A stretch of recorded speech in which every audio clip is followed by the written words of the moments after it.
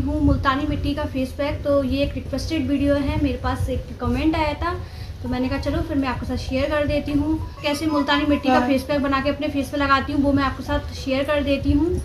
तो चलो बना लेते हैं मुल्तानी मिट्टी का फेस पैक और फिर मैं आपके साथ शेयर करती हूँ। और फेस को जो है नॉर्मल पानी से मैं अच्छे से वॉश कर लूँगी। तो चलो पहले बना लेते हैं फेस पैक यहाँ पर गाइस हम लोग ले लेंगे मुल्तानी मिट्टी।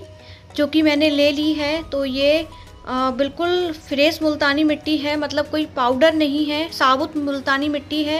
यहाँ पे ले लिया है मैंने गुलाब जल और बेसन ले लिया है नींबू का टुकड़ा ले लिया है एलोवेरा ले लिया है और ये जो पिंक कलर का आप देख रहे हो गुलाब जल तो ये मैंने घर पे बनाया हुआ है। अगर आपको इसको विधि चाहिए तो आपको डिस्क्रिप्शन बॉक्स में लिंक मिल जाएगा कि मैंने इसको कैसे बनाया है। तो चलो फोड़ लेते हैं यहाँ मुल्तानी मिट्टी को।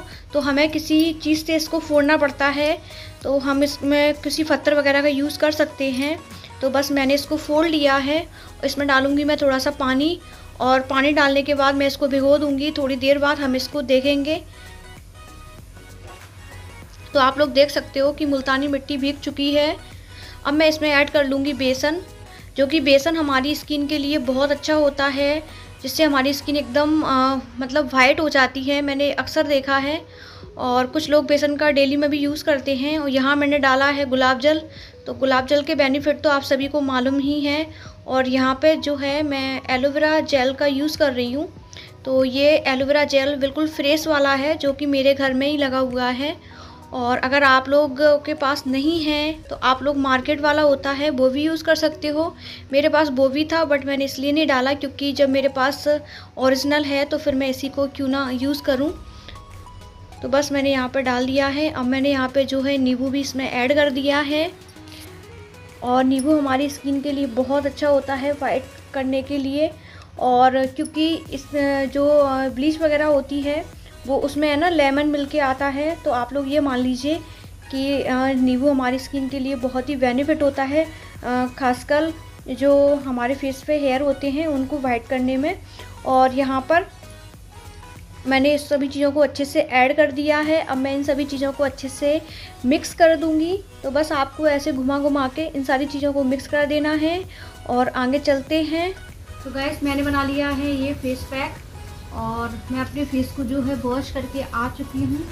तो मैं इसको साबुन की हेल्प से ड्राई कर लूँगी।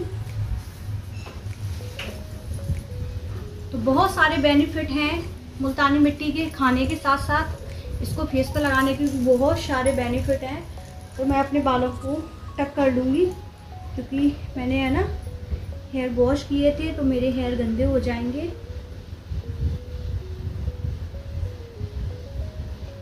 आप लोग देख सकते हो कि मेरा फेस एकदम ड्राई हो चुका है और ये है मुल्तानी मिट्टी का पैक जिसको मैंने बनाकर रेडी किया हुआ है। तो चलो लगा लेते हैं इसको। तो आप इसको जब भी लगाएँ ना तो नीचे से आप ऊपर की दिशा की तरफ़ लगाएँ। आप इसको ऊपर से नीचे तरफ़ ना लगाएँ तो आप हमेशा इस चीज़ का ध्यान रखें कि आप इसको ऊपर से ही नीचे से ही ऊपर तक ले जाएँ। और मैं इसको, है ना, बहुत हल्के हाथों से लगा रही हूँ और इसमें बेसन भी मिला हुआ है तो आपको, है ना, इसको ज़्यादा गीला नहीं करना, नहीं तो क्योंकि अभी, है ना, गर्मी है तो आप लोगों को थोड़ा सा ड्राई रखना है। तो बस मैं इसको, है ना, नीचे से ऊपर तक लगा लेती हूँ। और ये मेरा लग के रेडी हो चुका है। अब इसके बाद गैस हमें ना तो बोलना है ना किसी से बात करना है। चुपचाप हमें इसको थोड़ा सा ड्राई करना है और बस मैं इसको थोड़ी देर के लिए ड्राई कर लूँगी। तो फाइनली ये हो चुका है ड्राई तो हमें इसको है ना पूरा ड्राई नहीं करना है। आप लोग देख सकते हो कहीं कहीं ये ड्राई हो चुका है बट इसको पूरा ड्राई नहीं करना है। और आपको 10 मिनट बाद इसको वॉश कर लेना है तो मैं इसको वॉश कर लेती हूँ। मैंने यहाँ पे फेस वॉश कर लिया है। फेस वॉश यानी कि फेस वॉश से नहीं किया है, ऐसे ही नॉर्मल पानी से वॉश कर लिया है। और मैं इसको टावल की हेल्प से ड्राई कर दूँगी। गाइस आप लोग देख सकते हो कि मेरा फेस है ना एकदम स्मूथ हो चुका है और बहुत अच्छा ग्लो भी आ चुका है। तो आपका ये रिक्वेस्टेड वीडियो था और मेरी स्किन केयर भी हो गई। और आपकी रिक्वेस्ट भी पूरी हो गई। तो वैसे मैं कभी कभार लगाती रहती हूँ कंटिन्यू तो नहीं लगाती। तो गैस बहुत सारे बेनिफिट हैं मुल्तानी मिट्टी के। अगर हम फेस पर लगाते हैं तो स्किन हमारी एकदम टाइट हो जाती है इससे और एकदम ब्राइट हो जाती है और बहुत अच्छा एक ग्लो निखर के आता है। तो स्किन पे इसको लगा सकते हो एलोवेरा जेल को।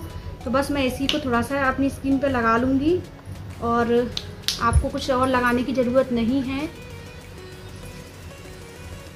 तो बहुत अच्छी स्किन हो चुकी है और स्किन पे एक हल्का सा ग्लो भी आ चुका है।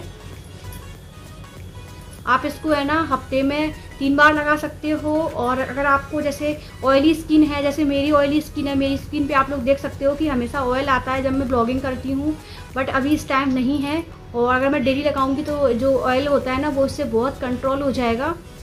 तो गाइस आप लोग बताना कि आपको मेरा ये वीडियो कैसा लगा और आई होप कि पसंद आया होगा। और पसंद आए तो प्लीज़ मेरे वीडियो को लाइक शेयर सब्सक्राइब करना तो बिल्कुल ना भूलना। तो चलो, फिर मिलती हूँ नेक्स्ट वीडियो में, तब तक के लिए bye bye take care thanks for watching love you to all